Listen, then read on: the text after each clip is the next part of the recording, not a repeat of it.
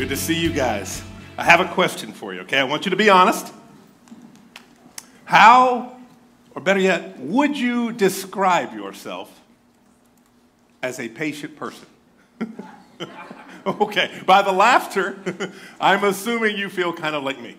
Maybe I don't even need to ask your spouse or your children, but they would be honest. They would tell you Are you known to be a person of patience? Yeah, I know, right? Thank you for the honesty. No.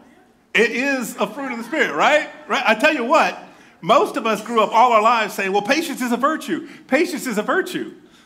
But you know what? That's false. That's not really true. Just ask Dwight Schrute. Patience is a fruit of the Spirit, it's not a virtue. It's a fruit of the Spirit. And as followers of Jesus, we are supposed to, Galatians, right? We are supposed to be embodying the fruit of the Spirit. So, how come people are so stinking short on patience? People are angry. Have you noticed that? Everybody's so mad. Just stand in line somewhere. You know, whether it's a restaurant that is way too understaffed, can't get help. Drive throughs, good night. Just this week, we were sitting there, I'm like, I could pull up, my order's completely wrong. Like, totally wrong. I'm like, no, it's not that. I can't drink that. What is, what is going You know what happened? The people in front of me, by the time we ordered and they paid, they bailed. They left, so I'm getting their order. Now the car behind me is getting, it was like, it was like chaos. Dogs and cats living together. It was weird.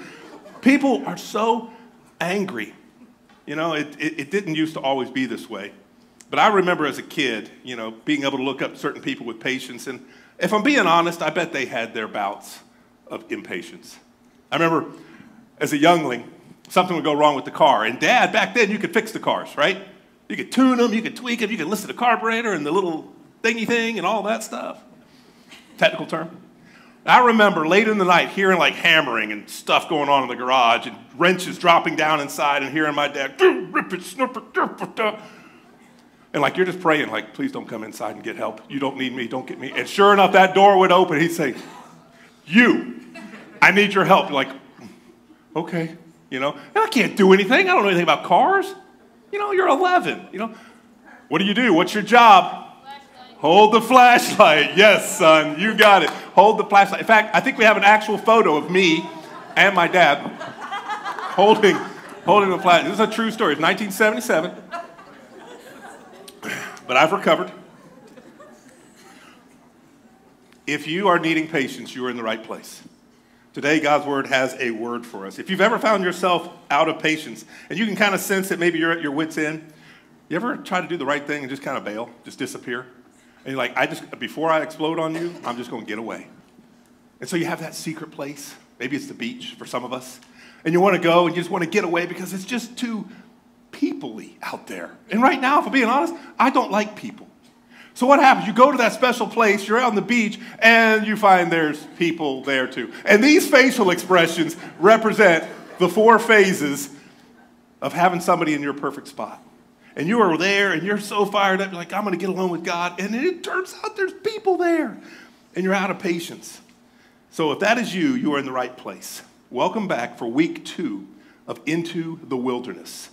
Last week, you heard a little bit about the wilderness concept in Scripture and the not so fun concept of being tested, maybe even being tried in the wilderness. And we learned that even Jesus had a season in the wilderness where he was tested. And remember, Satan came to him. He tried his best to trap him into temptation and lead him into sin. However, Jesus stood firm on the word.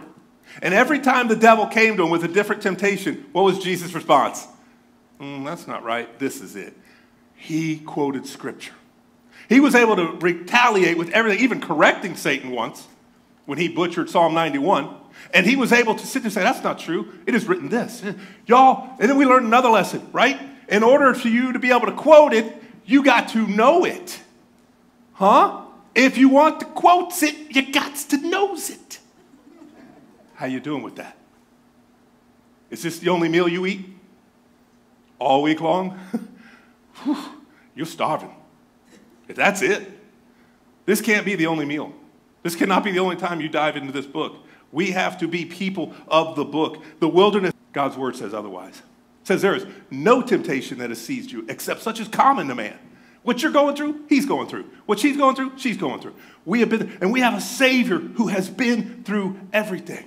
He's not aloof, he's not far off. He came, he put flesh on, and he was able to deal with temptation just like you and I.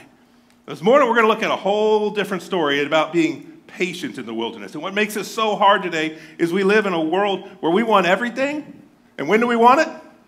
Now. We want it now. And this little gadget right here doesn't help. You know why? Because with just a few little little tap taps, you can have everything you want. And it can literally show up magically, like in two days. Or if you have Amazon Prime, I don't know what witchcraft that is. Man, that thing, it arrives in like eight minutes. It's weird. Amy can hit like send and the doorbell rings. It's, it's creepy. You know what I'm talking about? In fact, one of you sent me or showed me this, this great meme, and uh, it's so true about shipping. Here's the UPS. Your package is in your city. It's on a truck driven by Mike. It will arrive on your doorstep by 627 today. That's pretty good. Step down a little bit, FedEx. Your package is coming. You'll get it when we get it there, right? There's the United States Postal Service. what package? Amazon. We're already inside your apartment. Check the bathroom, right? It's so creepy, but it's so true. And then Facebook. we know you were thinking about getting a toaster yesterday. Here's 20 ads for a toaster. the truth is, guys, this is emblematic of it. We don't like to wait. But as Christians, we're not called to be like the world. We're not supposed to blend in. We're supposed to, y'all, what if there is wisdom in the waiting? What if there's wisdom in the waiting? And we're missing it because we hate to wait. But there's a reason for God's waiting room. And we may not like it, but today we dive into the Old Testament here. Go ahead and find 1 Samuel 24. 1 Samuel 24. By the way, if you're new to the faith, uh, welcome. It's great to have you, even if you're uh, checking us out online. The, this is in the Old Testament. It's a little closer to the front of your Bible than the middle if you're looking for it. Uh, it's page 405 in mine, if that helps you at all. We're going to look at two key historical figures Saul and David. And I want to set the context for what we're looking at here because context is so important. It's so easy to lift stuff out of context. People do it all the time. But they mean well, but here's what's happening David has already been chosen to be the next king of Israel. Okay? He's already been anointed, God has declared him. There's just one problem Saul is still the king. So Saul's in that position. So Saul is kind of nervous about David. He's aware of this, he's heard what's coming.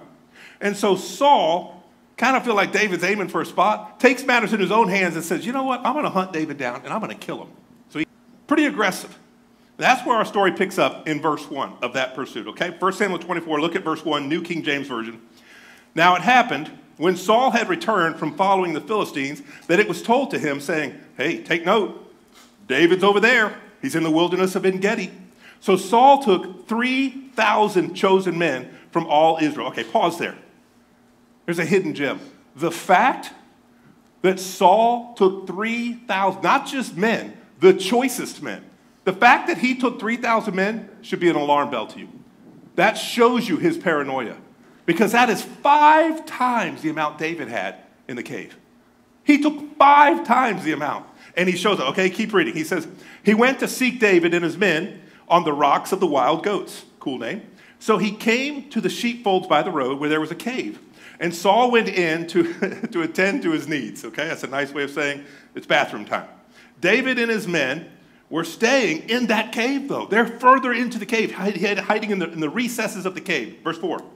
Then the men of David, apparently they're seeing Saul, they hear, they know what's coming. And they say to David, This is the day. He's right there. This is the day the Lord was talking to. Behold, I will deliver the enemy into your hand, so you can do to him as it seems good to you. So David arose and he secretly comes up and he cuts off a corner of Saul's robe. Okay, evidently Saul's not wearing the robe at this point. He's taking it off to take care of stuff. Maybe it's hiding on a rock. I don't know. He comes over and he cuts. This is huge, by the way. This means something. We'll get to that in a minute. There's a hidden gem right there. He cuts off this part of the rope, and then it happens that not long after this, patience is what gives you proper perspective. Much of this life has to do with viewing your situation through a specific lens. Every one of us have a lens, whether it's a worldly lens, a secular lens, a godly lens. In fact, raise your hand if you wear contacts or glasses. How many people? Okay, so at least half this room, my goodness, this room's packed. At least half of this room is wearing some kind of lens, okay? If your perspective is off, it distorts what you're seeing. Do you remember as a kid, you'd be driving down the road, maybe you take off your little nerdy glasses like I had, and like suddenly Christmas lights became these big color blobs? Like, like, oh, look, it's so pretty, you know? It's like, what? And like, you put your glasses back on, the first time you got glasses, you're like, there's individual leaves on trees? What is that, right? And maybe you're tired and you, you, trust your spouse to drive, you know, right? Late through the night, careful. I hear you, I hear you, baby. True story. You trust her because she's awesome at everything. So you're driving and like, you, you, you take your glasses off a little bit, you put the seat back just a little and you're kind of dozing, like the soft music's playing, the kids are not fighting, they're in the back seat, and you're like, all is right with. The world." I'm expecting like a Disneyland Blue Jay to come land on my shoulder and sing me a tune. Everything is right with the world. You look out, and you're kind of in this hazy, not quite asleep, not quite awake, and you see like the majestic moon that the Lord has painted, and it's just kind of out of focus. Then you put your glasses on, you realize that's no moon. that's Burger King, right? Lenses matter. When you put your glasses on, guys, it changes your view. This is our lens. God's word is the lens. But if we're never in it, we don't know it. And we can't look through the world. We can't look at the news. We can't look at current events unless we know the proper lens. When we put it on, look how crisp everything gets. Anybody hungry for a Whopper? Right? Look how crisp this is. It changed, lenses matter. Much of life has to do with viewing your situation through the right lens. And this includes your waiting. Hmm, I'm talking to somebody. You are in the wilderness now. When David chooses to see Saul's pursuit through a specific lens, it changed what he did. Remember, everyone's aware, the Bible tells us David already was anointed the next king of Israel. And now God was inviting him to wait. You know why? Because his time had not yet come. Even though his friends were cheering him on. David could have easily killed Saul, and he probably could have justified it. Think about this. Knowing Saul was trying to kill him, the Bible clearly says he's an opportunity to do so. Here it is. When he cuts off that part of the robe, this shows beyond any doubt how close he came. He could have easily killed him. But here's the thing when a man cuts off another man's robe, it is meant to be a sign of public humiliation. It is the ultimate degradation. But when a king cuts the robe of another king, do you know what it meant back then? It meant your kingdom is defeated. I am king. Your days are over. It literally meant there's a new sheriff in town. And so when he did this, immediately he regrets it. David knew what this meant. You know, but he had his friends right there. Look at the response that he said in verse 6. He says, I shouldn't do this. I shouldn't attack the Lord's anointed. The Lord himself has chosen him. In a little bit, that's going to be me. If I do this and usurp it, you know, David even restrained his men and wouldn't allow them to rise up against him. Do you want to talk about bold? David had all these men. These were brothers in arms, men who would die for him, saying, David, there he is. The Lord has delivered him into your hands. He's right there. God's put him, you got it. Let's go. They probably flexed and like, come on. He's right there. This, you, you, don't forget, he becomes king. All of them rise up too. They knew what this meant. And he was right there. The battle would be over before it even begun. And David stands up to his own men, risking their ridicule. Don't miss that. Risking the ridicule. He's the anointed. If, if there has ever been someone who had a right to revenge, it was David. Think about this. He was the anointed of the Lord. He was already appointed to succeed Saul to the throne of Israel. He had done nothing but faithfully serve Saul. Nothing. He had been nothing but awesome. In fact, he even did Saul's heavy lifting. When Saul was fluttering around, Goliath was coming out taunting Israel, and David's like, You're letting this uncircumcised Philistine insult us like this? What, Give me some stone. Give me some stone. Right? Remember what he does? He goes out, well, bam, boom, and he falls down. But that's not what killed him. Read the next scripture. It says he didn't have a sword, so he went, he took Goliath's sword, and with that, boom, he decapitated him. Cut his head off right there. That just goes to show that David was a man who knew how to get ahead. Sorry. Sorry. That's terrible. If it's not at least one bad pun, in a, it doesn't count. Think about this. He did his heavy lifting. He did all this stuff. Was I am going to kill you. You are now the object of my wrath. My Jeremiah study Bible points out, says this. Yet through all this, David did not allow Saul's actions or attitudes of his men to persuade his heart or change his behavior. Did you catch that? No matter what someone does with our mercy, no matter how nice we've been, we have to make sure our hearts are always right before the Lord. You know what that means?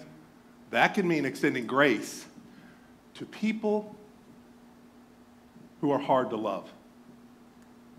Those people who are as cuddly as a cactus, have the personality of a sunburn. You know what I'm talking about. Everyone has one in their life. And you're just like, no, they're just so hard to love. Because God loves us that way. Never forget, you expect grace from the Lord. We need to be able to give grace to others.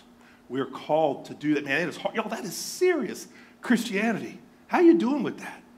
You see, David gained in the waiting what many of us are here today wanting, and that is proper perspective. Don't you want to see things through God's point of view? I wonder what kind of wilderness you're in today. Maybe as we talked last week, you're in the wilderness because you're getting tested. It's time of trials. You don't understand what's going on. Listen, it is not always a bad thing to be tested in the wilderness. We see this. It wasn't a bad thing for Jesus. God used that for a purpose. Maybe you're running from something like David was. Hiding out in a cave, kind of scared, not sure what to do. Maybe you're wandering around without a purpose. Maybe you keep going back to that sin, keeps bringing you back down, that you just can't seem to break those chains. Maybe you don't know why you're in the wilderness.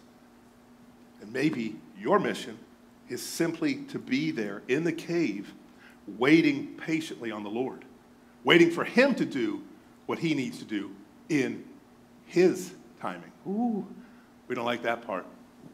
We don't like to wait on His timing. Be honest, right? We want it, we want it now. Do you see what's happening here?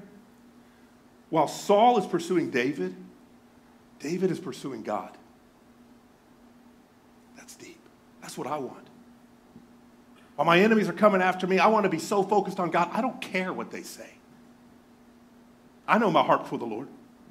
You know your heart before the Lord. I want to be so consumed with Him that all this other noise doesn't even matter. And God's calling us to this level of holiness. As the days get darker, and they will, until the Lord returns, we know the ending. We know where this is headed. We don't lose hope. We are the hope. We carry this. But we have to struggle, to strive to meet the Lord, to live in a way that is holy and pleasing to Him. See, David was so consumed with his heavenly Father.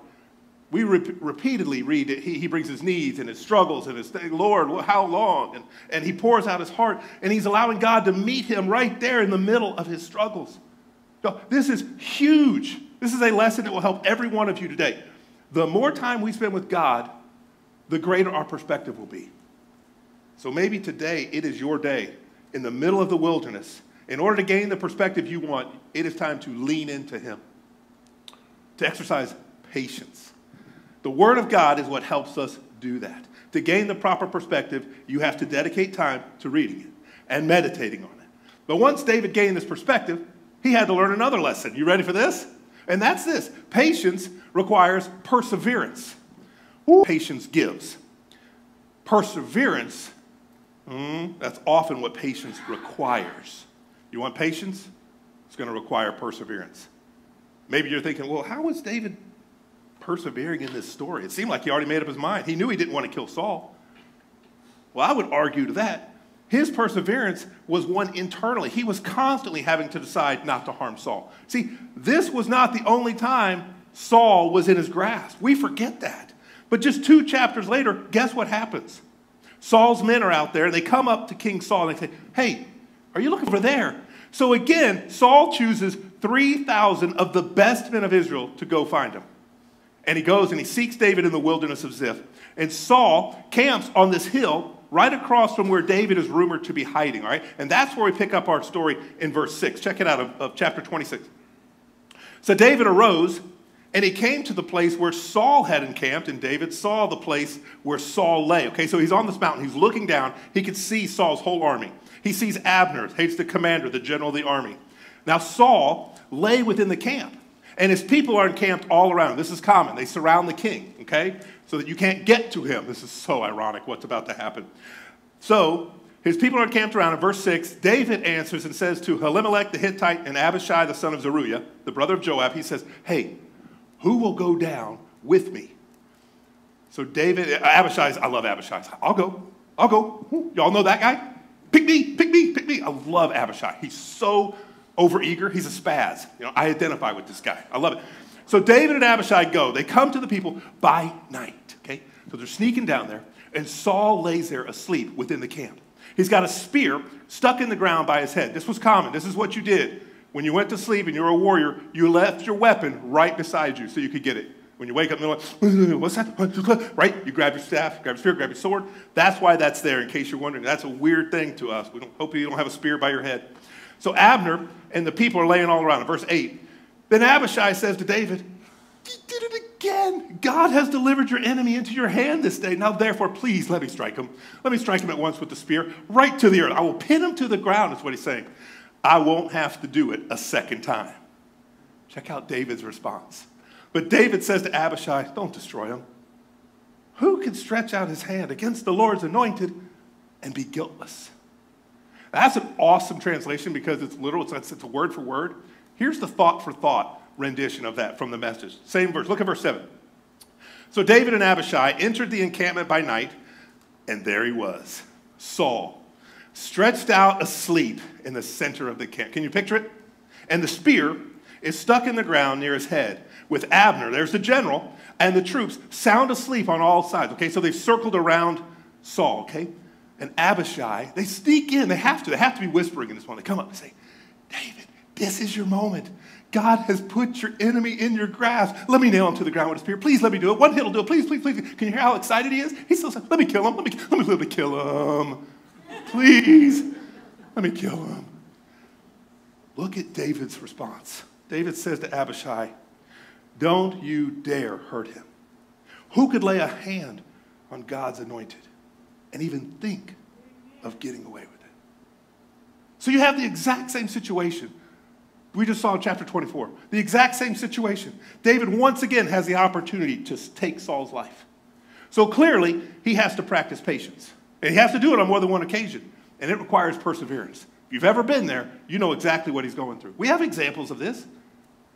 Just look in your past. It was hard for me way back in the 80s.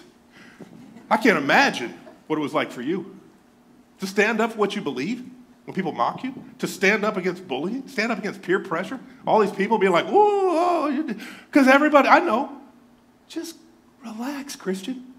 Just go with the flow. Why you're so uptight about this Jesus stuff? You act like he died for you or something. Yeah. Yeah, he, he kind of did. I gave him my heart and I surrendered and I said, if you died for me, the least I can do is live for you. Y'all, that takes perseverance. That takes perseverance to stand up. In David's case, the men around him in both scenarios, they thought killing Saul would be the right thing to do. Don't miss that. In fact, they even use scripture. They're like, this is in line with God's will. It is God's will. He has put him in your hand. Kill him now. Does that, does that strike anybody else as weird? This is it. This is your time. Kill the man. They said that. And David rejected it. He persevered. He refused. He went against the crowd. Don't miss this. David's closeness with God and his word allowed him to understand on the deepest level God's own heart. And it wouldn't be long before David would be labeled a man after God's own heart. Man, I want to be known as that. Don't you? I want to be known as a man after God's own heart. And God's own heart right here was to allow Saul to live a little longer. It wasn't to take it, it was about his timing. All right? So let's bring this into your world today. How does this apply? Are there people in your life right now who are whispering advice to you? Maybe sharing their wisdom. Maybe they even mean well. Maybe they even think that they're giving you the. And you know, if I did it, uh, you know, it wouldn't be terrible if I acted on their advice. but yet you know in your heart it's just not the best scenario. It may be good, but it's not the best. I think David wrestled with that internally, just like we do. We wrestle with these questions and these feelings. And each time we have to persevere internally, wrestling through those same thoughts and feelings. We have to be willing to say no to the. Do we like silence? Do we like being silent before the Lord? If we did, we, we'd do it more. David knew ultimately his patience would come from following God at all costs, at all times. If we're able to do this, guys, if we're able to grow in patience due to our closeness to the Lord, we will see the same thing David was able to see in response to that closeness. We'll see patience. We'll be able to discern God's best. So, where are you today? Are you at a fork in the road? Maybe you've got a choice. Maybe you've got a career thing going on. Maybe you've got a house situation going on. Maybe you've got a family issue that you're wrestling. Maybe a medical issue, and you're at a fork in the road. Or maybe you've got several roads that you could choose from. And you're looking at this today and going, God, I, I need to hear from you. I need to know. Maybe you've got some people whispering in your ear good advice. But in your heart, the Holy Spirit is saying, that's not the best. We have to be able to discern that. What if it wasn't the best result that God wanted? Here's the bottom line for today, okay? As we come into bringing us all, this is the core truth, okay? This is the truth that no one really wants to hear if we're honest. Often, God's best for our lives is found in the waiting. That's a good one. Y'all need to take a picture of that and write that down. Often, God's best for our lives is found in the waiting. Could it be the reason we don't follow God's best for our lives is because we're not willing to do the second part? We're not willing to wait. What do we want to do? Pow! We kick the door down. I'm coming in. Nobody likes to wait. Nobody likes to do that. We want to kick the door down and go. There's a great meme that I saw years ago that goes something like this When you're sitting in God's waiting room, until God opens the next door, praise Him in the hallway. Isn't that great? Till God opens that, don't kick the door down. What if that door's not meant for you? So praise Him in the hallway. Stay faithful.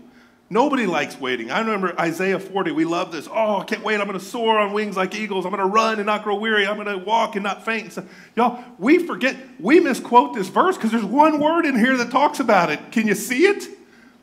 It says, Young men will stumble and fail, but those who wait, those who what? Wait on the Lord. We forget that. There's the qualifier. They're the ones that renew their strength. It is not easy to be patient, and it is not a lot of fun to wait. I get it. But the Lord renews our strength in the waiting. Are you tired? Are you out of patience? The noise. And bask in his presence. That's where we find the strength we need to persevere. To quote the great Old Testament prophet, Axylus Rosicus, all we need is a little patience. You got to look for him. He's in Second Hesitations. It's in the Old Testament. All we need is a little patience. Regardless of what scenario you find yourself in right now, every one of us is tempted to take matters into our own hands. This is what we do. God, you're not moving fast enough. Allow me to help. right? I prayed, I had the opportunities to learn patience. I don't want that. I want the actual patience. Can we skip to the end of the line? Right? I've got plenty of opportunities to exercise. I, just give me patience. But we laugh because it's what we do. But until we can acknowledge that and be honest with each other and before the Lord, you know, it is so easy to want the quick fix to our problem. We want immediate results. And why would toaster ad waiting on me? Right? Everything we want, just a click away. It, it, it's, it's bombarded us. We, we are an immediate culture. But I believe today, through this story of David, God wants to rewire how we think about the wilderness. I'll be honest, when I hear the word wilderness, God's going to take me to the wilderness, I'm not happy about that. I don't want to go to the wilderness. But if it's for my good, to grow me, to make me more like Jesus, I need to be able to do it. It's the bottom line. If I want to be more like Christ, I have to follow what he did. And he went to the wilderness. He desires for us to be patient, even when it's uncomfortable. Even when he may be, when it seems like people are giving us the advice we want, and well, this is what we've been praying for. Kill him. He's right here. He's in his hands. We can have almost anything we want so immediately. But what if God is in the waiting? David had a chance to kill Saul multiple times. but he's patient and he recognizes that God will be the one to bring him to the throne in his father's time, not in David's time. And sometimes in the wilderness, I know it's hard to wait, but never forget this. You want to write this down. God's timing is always better than ours. Always. Do you believe that? Because how we live will answer that question. God's timing is always better than ours. So, my question for us today what if He tells you to wait? Are you willing to wait? Man, that's hard. I get it. Are you willing to wait for God's best rather than settle for something that's good? That's what we do all day long. We settle for the quicker thing, we take the shortcut, the easy route. But what if the learning is coming and it's not easy? We confess that it is, it is hard. It is hard in our flesh. We, we want to go. It doesn't come naturally to us. We want to have everything and have it now. Lord, would you forgive us for that? Help us to be so focused on you that the noise of the world is an afterthought. Help us to learn that your waiting room is not punishment. You're, you're showing us what's best. God, would you give us patience? Even if it means opportunities to learn patience, Lord, we ask for it. We need it. God, help us to stand out in a world that is so impatient, so angry, so self absorbed. Help us to be different. Help us to exude the fruit of the Spirit. May people see a difference in us. That's our prayer in Jesus' name. Amen. If you're a first timer here and I see a lot of new faces, what we like to do at the end, this is kind of the high, the, the high mark of, of the service, the climax. We like to open the altar and sing a final song of worship to the Lord. This is where we cement our, our commitment. If God's been speaking to you, sometimes we'll open up the altar and you can come pray. No one will bother you. We, we love to do that. And maybe you want to come and just take your faith to the next level. Maybe you just want to take a moment, kneel at the altar, and surrender. Say, God, don't let me move until you've accomplished what you want in me. That's a bold prayer. Don't let me move out of your waiting room until you've accomplished what you want in the waiting. Maybe today you have been a believer, but you've kind of drifted away, or you want to come back to the Lord. You want to rededicate your life. Or maybe you want to take the next step in your faith journey and be baptized. This past Wednesday night at Refuel, midweek Bible study, we weren't even talking about it. We had five amazing people come up to me after church. Five on a cold, typical Wednesday night. We weren't even talking about it. Three adults and two children. One right after it come up. It was amazing. Y'all, God is moving. When you see the world kind of starting to fade away and you see church attendance down across the world, there's a remnant that He is raising up of people who are sold out. I want to be counted among those. And maybe God is saying, you know what? You've never made that public declaration. Maybe you want to come up after church and tell Pastor, I'm ready to take the next step and make my faith public. We're going to be doing that in a few weeks, and you can join this group. Maybe you feel like you're in God's waiting room, and you want to come pray for patience. You want to come pray for wisdom. Ask for His perfect will. God, what is your will for me? What is your will for my family? What is your will for my career? Would you show me? If I need to wait, Lord, show me that. So, whatever God is leading you to do today, be obedient. Just be obedient. He is here and His word has spoken. Let's stand together. The words will be on the screen. The altar is open. Just be obedient to what God is asking you to do. You come as the Lord leads.